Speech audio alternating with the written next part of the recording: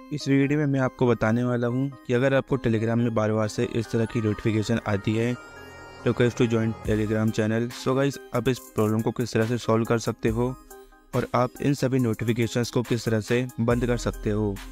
सो so, इसके लिए सबसे पहले आपको अपने फ़ोन की होम स्क्रीन पे आना है।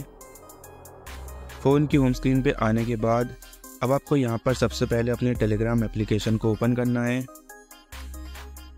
टेलीग्राम को ओपन करने के बाद अब आपके सामने कुछ इस तरह का इंटरफेस ओपन हो जाएगा। सो so गाइज़ अब आपको यहाँ सबसे पहले ऊपर इन थ्री ओरिजोनटल लाइंस पे क्लिक करना है।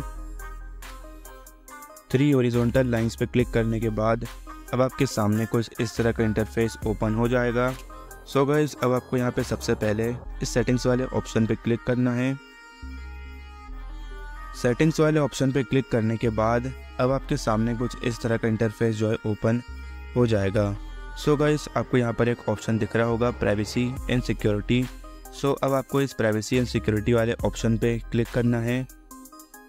प्राइवेसी एंड सिक्योरिटी वाले ऑप्शन पे क्लिक करने के बाद अब आपके सामने कुछ इस तरह का इंटरफेस ओपन हो जाएगा।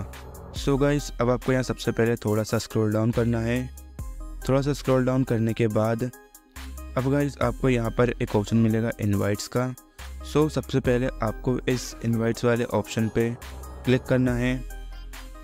इनवाइट्स वाले ऑप्शन पे क्लिक करने के बाद आपको ये जो ऑप्शन है इसको गाइस नो बडी कर देना है।